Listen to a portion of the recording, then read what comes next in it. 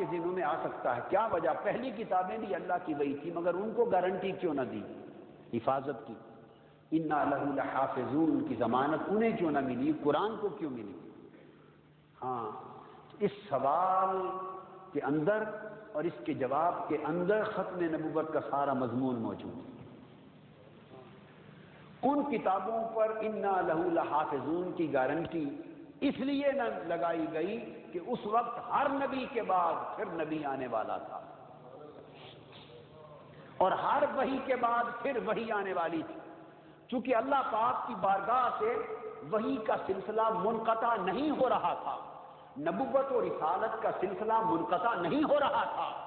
اور کلام الہی کے بتسلسل اترتے رہنے کا نظام ختم نہیں ہو رہا تھا۔ اس لیے گارنٹی نہ دی حفاظت لفظی کی۔ اگر کسی نے بدل دیا، اگلے پیغمبر نے آ کے اللہ کی اصل وحی کو پھر بیان کر دیا۔ کسی نے بدل دیا، اگلے پیغمبر نے آ کے خدا کا اصل پیغام پھر اجاگر کر دیا۔ کسی نے کتابوں میں پھر تحریر کر دی، اگلے انبیاء نے آ کر عقیدہ توحید کو پھر نمایاں کر دیا۔ یہ سلسلہ چلتا رہا چلتا رہا۔ لوگ تحریر کرتے رہے۔ اور وہی الہی تازہ بتازہ اترتی رہی۔ اللہ کی کتابیں اور صحیح سے تازہ بتازہ اترتے رہے۔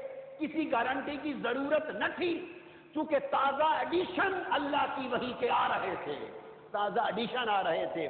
اگر پچھلے میں تاریخ ہو گئی، اگلے ایڈیشن نے آ کے پھر اصل پیغام اجاگر کر دیا۔ مگر جب بے سط مصطفیٰ صلی اللہ علیہ وآلہ وسلم کا وقت آیا اور حضور علیہ السلام تشریف لائے اب آقا کی آمد کے بعد خدا کو معلوم تھا، یہ خدا کا فیصلہ تھا، یہ امر قطعی تھا اور یہ خدا کے علم میں یہ تقدیر تھی کہ اب مصطفیٰ کی آمد کے بعد نہ کوئی نبی آئے گا، نہ کوئی رسول آئے گا، نہ کوئی نئی کتاب آئے گی، نہ نئی وہی آئے گی، نہ خدا کا کلام آئے گا۔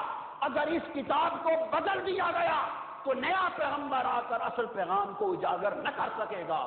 اگر اب تحریف ہو گئی تو قیامت تک لوگ اصل قرآن سے محروم ہو جائیں گے۔ اس لیے چونکہ حضور خاتم النبیین تھے، لہذا حضور کی کتاب کو بھی خاتم القتب بنا دیا۔ حضور کی وحی کو بھی خاتم الوحی بنا دیا۔ حضور پر اترنے والے کلام کو خاتم الکلام بنا دیا۔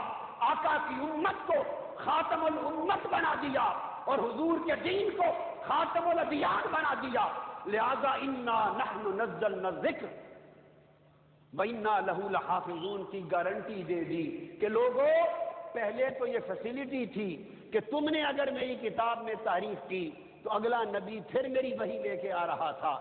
تو چند لمحوں کی بات تھی، حقیقت پھر کھل جاتی۔